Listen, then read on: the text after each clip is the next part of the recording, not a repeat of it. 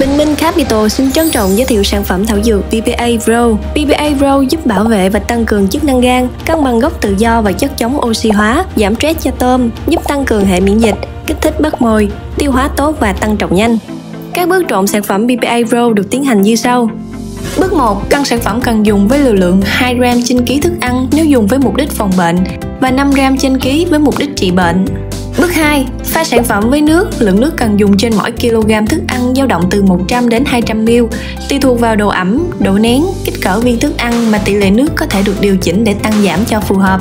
Bước 3. Trộn hỗn hợp đã pha vào thức ăn và để khoảng từ 15 đến 20 phút cho ráo. Bước 4. Sau đó phun thêm dầu dừa hoặc dầu ăn với liều lượng 10ml trên ký thức ăn hoặc có thể sử dụng 1 đến 2 quả chuối xiêm chín xay nhuyễn để thay thế cho dầu với mục đích chống thất thoát sản phẩm trộn khi cho viên thức ăn vào nước. Bước 5. Cho tôm ăn Cần bảo quản sản phẩm ở nơi thoáng mát, khô ráo và tránh sản phẩm tiếp xúc trực tiếp với ánh nắng mặt trời. PBA Grow, sản phẩm phục vụ nền nông nghiệp xanh.